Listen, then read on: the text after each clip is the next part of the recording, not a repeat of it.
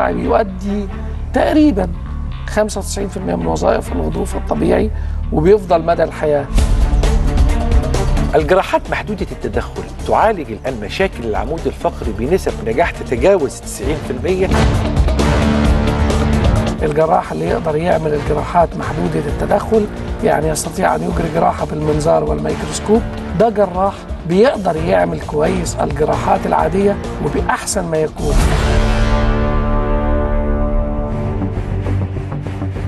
الأستاذ الدكتور يسري الحميلي أستاذ واستشاري جراحات المخ والأعصاب والعمود الفقري. الأستاذ بكلية طب جامعة القاهرة مدير مستشفى نيورو سباين للجراحات المتخصصة.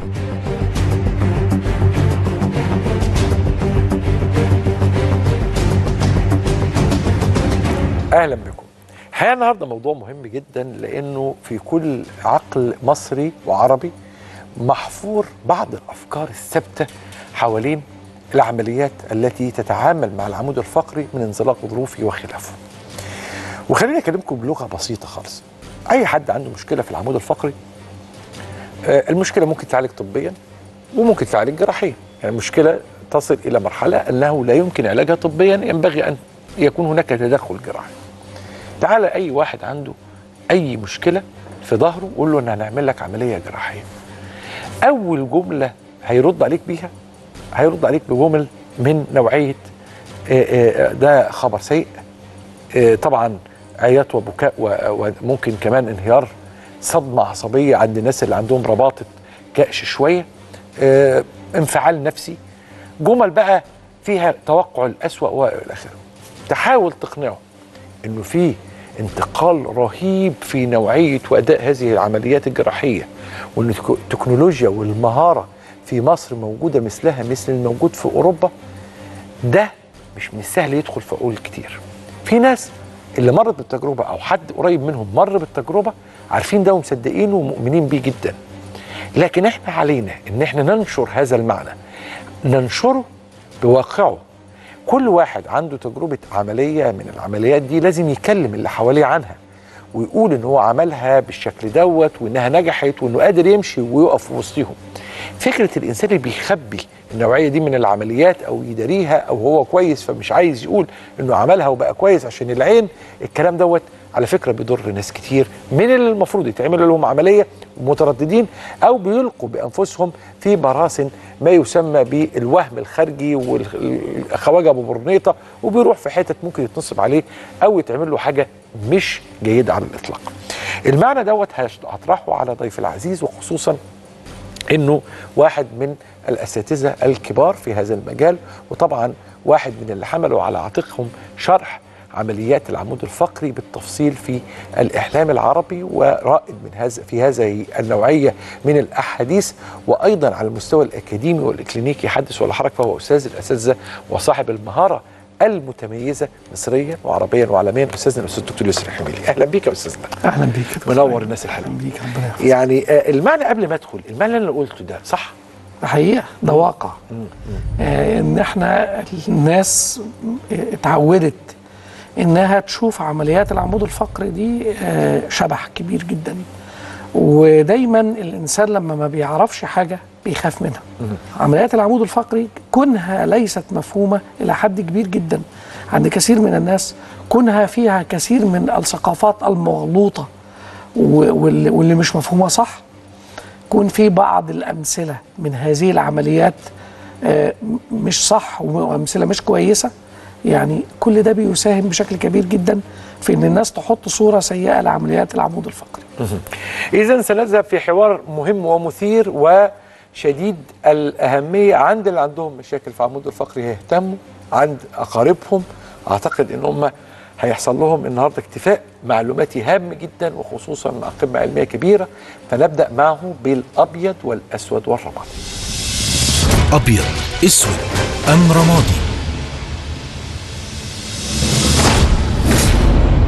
الجراحات محدودة التدخل تعالج الآن مشاكل العمود الفقري بنسب نجاح تتجاوز 90% وأيضا آه، آه، بنتائج رائعة إذا تمت في مكان مجهز مؤهل يمتلك قدرة هذه العمليات. طبعا أبيض. يعني هو جراحات محدودة التدخل عايز أقول إن اللي يتكلم عنها أو اللي يقول فيها هم الناس اللي بيعملوها. هم الناس اللي عندهم الامكانات العظيمة لإجراء مثل هذه الجراحات. الجراحات دي جراحات عايزة جراح متمكن ودايما بقول يا جماعة الجراح اللي يقدر يعمل الجراحات محدودة التدخل يعني يستطيع أن يجري جراحة بالمنظار والميكروسكوب ويقدر يستخدم تقنيات الليزر والجراحات المحدود الملاحية. ده جراح بيقدر يعمل كويس الجراحات العادية وبأحسن ما يكون. أمال هو ليه بيعمل الحاجات دي؟ ده نوع من التطور في شغل نوع من التقدم نوع من ال ال ال التوفير على المريض في أشياء كثيرة جدا. ليس التوفير المادي ولكن التوفير الصحي. إن هو آه، بيعمل العملية بتاخد وقت قليل المريض فترة النقاهه بتبقى قليلة. الأهم من ذلك إن المريض بيرجع بالجراحات دي إلى وضعه الطبيعي أقرب ما يكون إلى الطبيعي من أي جراحة تانية. طب ليه الناس بتنتقد الجراحات دي؟ كل اللي بينتقدوا الجراحات دي يقولوا إنها بتقتصر على نسبة قليلة دول ناس عمرهم ما مارسوا هذه الجراحات. الكلام ده في غاية الأهمية. الناس اللي بتاخد العيان تتفق معاه على عملية وتوديه أي مستشفى أو أي مكان غير مجهز من مصلحته إن هو يقول الكلام ده وي- ويعني يتكلم عن الجراحات دي وكأنها آه، حاجة أقل من اللازم. يعني بيوصفها للمريض ده كأن المريض بيعمل عملية ناقصة مش كاملة. لو إحنا بصينا في الفيديو هنا هنبص هنلاقي دول عمليتين جراحيتين لنفس الغرض ونفس السبب. انزلاق غضروفي مع توسيع القناة العصبية. لكن شوف هنا لما بيعمل بنعمل عملية بالمنظار شوف شكل الفتحة قد إيه شوف شكل العملية قد إيه شوف المريض بيفقد أنسجة أو اختراق الأنسجة الطبيعية اللي ربنا عملها. والتغيير فيها هنا قد إيه وهنا قد إيه. طبعا الجراحات بالمنظار بتقتصر على إن أنا أتعامل مع المرض فقط لا غير دون أن أحدث أي تغيير في التركيب الطبيعي للعمود الفقري. وبالتالي أنا لما أطلع من العملية أجريت عملية استأصلت الغضروف زي ما إحنا شايفين فقط الغضروف من غير ما أشيل عظم من الظهر من غير ما اقلل كفاءة العمود الفقري المريض ده هيطلع يتحرك هيطلع هيطلع من العملية أجرى العملية وكأنه لم يفقد أي شيء. وبالفعل هو لم يفقد أي شيء من الحاجات الطبيعية اللي ربنا عملها وبالتالي هيطلع يتحرك بسرعة هيعمل كل حاجة. مش هيبقى عنده قصور في الحركة مش هيبقى خايف يوطي مش هيبقى ممنوع يوطي ولا في كل حركة محتاج يلبس حزام و و إيه الفرق؟ إن دي جراحة مكلفة جراحات محدودة التدخل بالمناسبة من الجراحات المكلفة جدا. عايزة امكانات عالية. عايزة. مستشفى مجهز من نوع أكثر وهي تجهيزاتها واستهلاكاتها أعلى بكثير جدا من الجراحات العادية. بس لصالح المريض في النهايه طبعا.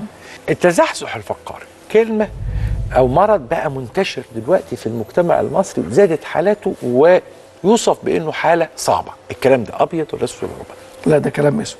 أسود. طبعا. هو ازدياد عدد الحالات زيادة ليست حقيقية لأن إحنا بقينا بنشخص كل الحالات. فالزيادة دي نتيجة التقدم في وسائل التشخيص ما بقاش في حالات بتتشخص مرض تاني وبالتالي كل الحالات اللي عندهم تزحزح بيتعرفوا. أما بقى كونه إن هو حاجة خطيرة هو ليست أشياء من الحاجات الخطيرة. دايما بقول إن المرضى هم اللي بيحطوا نفسهم في حيز الخطر. لما يبقى عندك حاجة بسيطة وهتتعمل بطريقة جراحية لطيفة جدا. عملية محدودة التدخل في أول المرض وتقعد تستنى تقول لا لا ما أصل أنا كويس ما أصل أنا بقدر أشتغل ما أصل أنا ما بيجيليش الوجع ده باستمرار ما أصل فلان اللي عمل العملية آه، في مستشفى. يا جماعة مش معنى إن حد عمل عملية في مكان خطأ وبأيدي خ... يعني أنا آسف يعني غير متدربة جيدا. يبقى كل العمليات كده. العبرة إن إحنا لما نعمل عملية في وقت مبكر وفي الوقت المناسب ولما نعمل العملية بأصولها في الأماكن اللي هي آه، مخصصة لهذا وبالشكل العلمي الصحيح النتائج دايما بتبقى هايله بما إنك دائما كأستاذ جامعي آه، يعني لك تاريخ طويل جدا تمتلك آه، كمان النظرة الحامه للحدث وللواقع في محيط أعمال ال- المخ والأعصاب في المجال العام والخاص. وكان بيعجبني دايما نقدك للخطأ. فأكيد منطقة المتهم والجاني والبريء معك هتبقى ممتعة. نذهب إلى المتهم والجاني والبريء. جاني متهم أم بريء؟ من ينصح المريض؟ من ينصحه؟ ويثمن له ويعلي من قدر الطريقة العادية أو الأساليب العادية على المنظار في علاجات أو جراحات العمود الفقري. تصنفه حضرتك متهم ولا جاني ولا بريء؟ ده جاني طبعا. جاني على نفسه وعلى المريض. آه ليه جاني؟ آه دايما آه آه العلم يحب الناس اللي بتتعمق فيه. ودايما آه يعني آه بيقولوا من قال لا أعلم فقد أفتى. اللي ما يعرفش يعمل الجراحات محدودة التدخل الجراحات بالمنظار اللي ما بيستخدمش تقنية الميكروسكوب في العمليات الجراحية حتى هذه اللحظة. وأنا بتكلم على جراحات المخ والأعصاب والعمود الفقري وهو تخصص شديد الدقة تخصص حساس جدا. اللي ما يعرفش يستخدم التقنيات دي في المجال ده ما يتكلمش ما يتكلمش في المجال ده لأن المجال ده بيضرب به المثل في الدقة العالية. طبعا. طبعا يعني لما حتى كان في السينما. في, في, السينما، الحروب. آه في الحروب. لما كانوا بيتكلموا عن حرب العراق وإزاي يبقى فيه آه قنبلة نازلة في إزاي المنطقة. في نيران صديقة قال لهم يا جماعة we don't do brain surgery آه إحنا ما بنعملش عملية في المخ ده معناها إيه ده معناها إن إحنا لما بنتكلم عن عمليات المخ عمليات الع- العمود الفقري عمليات خاصة بالحبل الشوكي أنت بتتحدث عن دقة متناهية المليمتر يفرق معانا آه، آه، المنطقة الثالثة منطقة مهمة جدا لأن ال- آه، أكتر برانش في الطب حواليه أوهام هو المخ والأعصاب أكتر حاجة. هو رقم واحد على الإطلاق. فنذهب إلى الوهم والشك واليقين. وهم شك أم يقين؟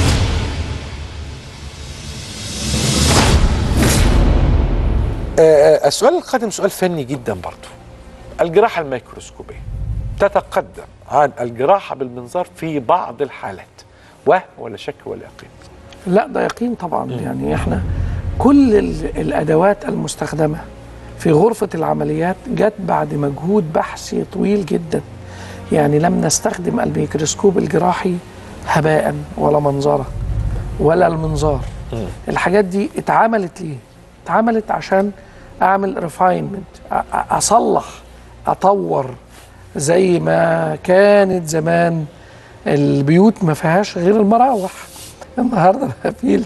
يعني عايز أقول بقى في تكييف بقى في تكييف مركزي بقى في تكييف.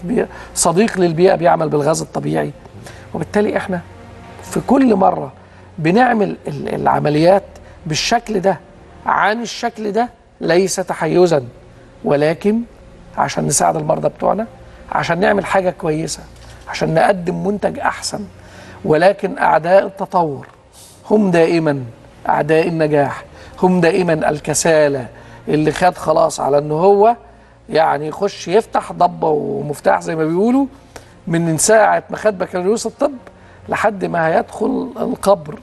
وإحنا اللي بيحاسبنا ربنا. اجتهادك في العلم ده ربنا بيديك عليه أجر. إيه، ان إن أنت تجتهد وتجيب لبلدك حاجة توفر على الناس إنهم يسافروا يعملوها بره. وتوفر على البلد عملة صعبة وبالمناسبه على فكرة آه، الطبيب المصري من أكثر أطباء العالم في لو.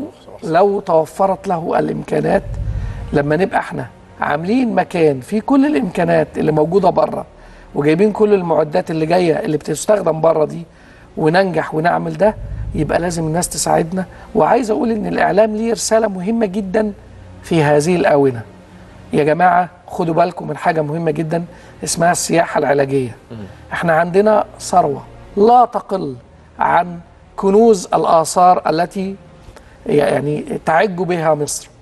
زي ما عندنا تلت آثار العالم بس كلها في مدينة واحدة زي الأقصر. إحنا عندنا أطباء في منتهى العظمة.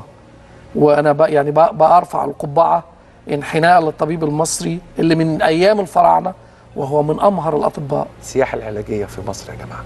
دي قضية تحتاج إلى حلقات وحلقات وزي ما أستاذنا الفاضل قال في جمل مهمة إن ده طريق مضمون جدا مضمون للسياحة لازم نحافظ عليه ونقويه ونرسخه ويبان فعلا قيمة الطبيب المصري الموجود في مصر. أعدائنا أعداء مصر مش عايزين كده مش عايزين كده خالص. طبيب مصري يبان. طبيب مصري يظهر مهارته ويتكلم ويقول ويجيب الحاجات دي. لا لا لا لا لا لا. إحنا مش عايزين الكلام ده يظهر. يظهر بقى الكلام ده بقى. شوف ده الغلاف. يتقال بقى بأي شكل. والحدق يفهم. نورتنا يا فندم. ربنا خليكم دايما مع الناس الحلوه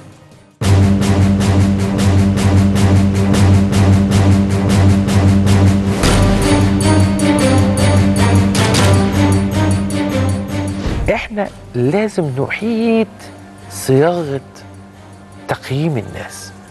فلان ده كويس مش عشان هو غني قوي أو عنده كذا أو بيمتلك شيء معين كذا لا هو مين؟ هو إيه؟ مش هو مين برضه يعني أستاذ في الحتة الفلانية أو رجل أعمال في الحتة العلانيه لا يا باشا هو مين كإنسان؟ صدقيني أو برضه صدقني كرجل صدقيني انت لأن ده مهم جدا بالنسبة للستات لما تختاري راجل لازم تختاريه بناء على إنه فعلا راجل ولا مش راجل.